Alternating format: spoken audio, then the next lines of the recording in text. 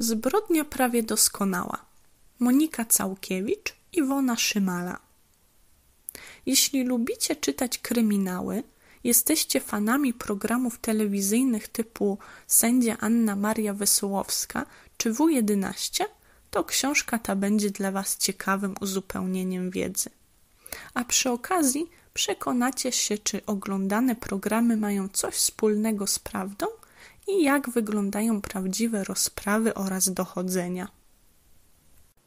W zbrodni prawie doskonałej znajdziemy informacje na temat profilerów, ich pracy i roli podczas śledztwa. Dowiemy się, jak wyglądają przesłuchania, w tym również przesłuchania dzieci.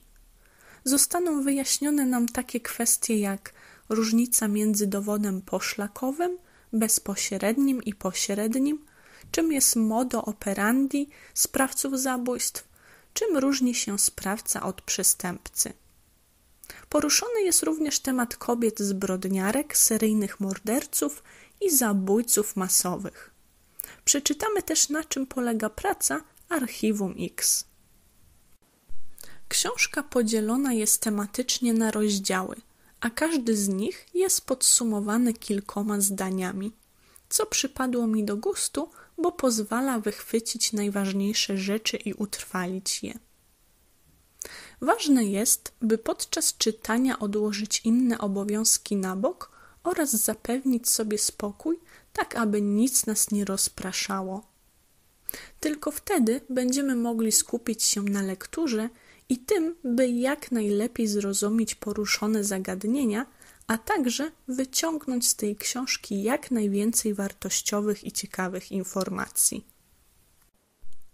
Mimo, że jest to dobra pozycja i polecam ją osobom, które chcą poznać podstawy z zakresu wiedzy o przestępczości, głównie w Polsce, zwłaszcza, że jej przeczytanie to kwestia jednego, dwóch wieczorów, to osobiście przyznam, że spodziewałam się po tej książce czegoś więcej. Niestety nie zaspokoiła ona mojej ciekawości i czuję lekki niedosyt po tej lekturze.